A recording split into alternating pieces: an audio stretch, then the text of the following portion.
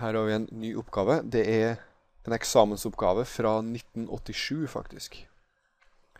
Og her står det at et apparat har to komponenter.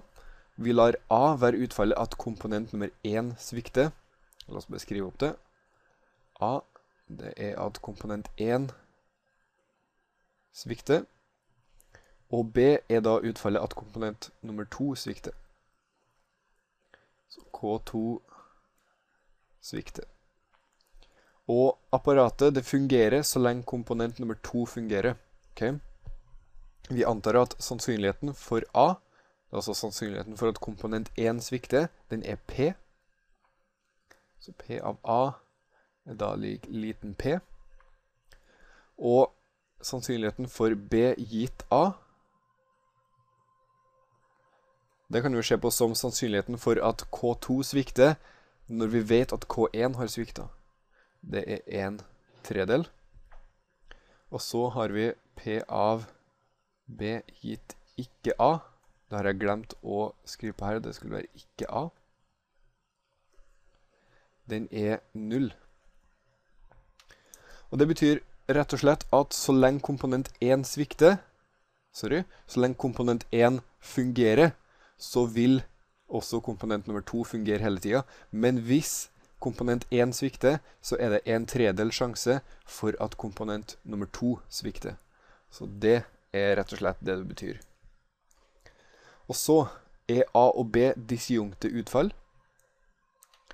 Vi kan jo tenke på de to utfallene som eh, et lite Venn-diagram. Så her har vi utfall A, og her bortpå har vi utfall B. La oss tegne B med en annen farge. Så B. Nå har jeg faktisk tegnet dem som disjunkte utfall. Det vil si at de ikke har noe snitt. Altså at det ikke er noe område som ligger innenfor begge sirklene. Men er det riktig? For vi må jo tenke, hvis det finnes et snitt mellom dem, så betyr det at det finnes en sannsynlighet for at begge to svikter. Og det finnes jo faktisk den sannsynligheten fordi hvis komponent 1 svikter, og sannsynligheten for det er jo P, så vet vi at da er det en tredel sjanse for at komponent nummer to svikter igjen etterpå. Så det er faktisk en sjanse der for at begge to har svikta. Og Derfor så må vi tegne det på denne måten. Så det som er inni den røde sirkelen, det er rett og slett sannsynligheten for at komponent 1 har svikta.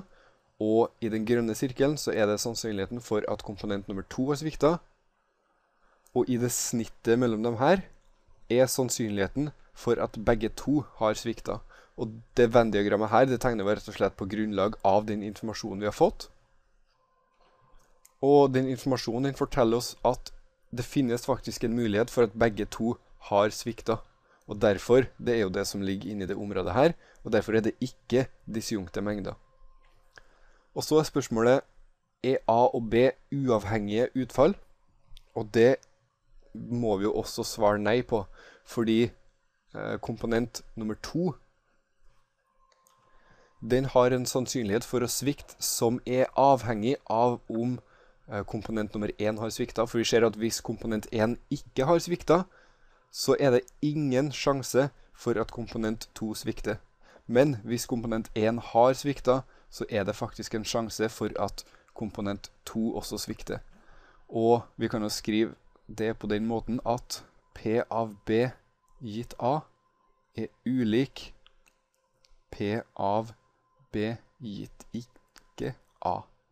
Og det er rett og slett grunnlaget for å si at nei, de er ikke uavhengige utfall. Og så skal vi begrunne svarene kort, og det føler jeg at vi allerede har gjort. Så da hopper vi heller på neste deloppgave.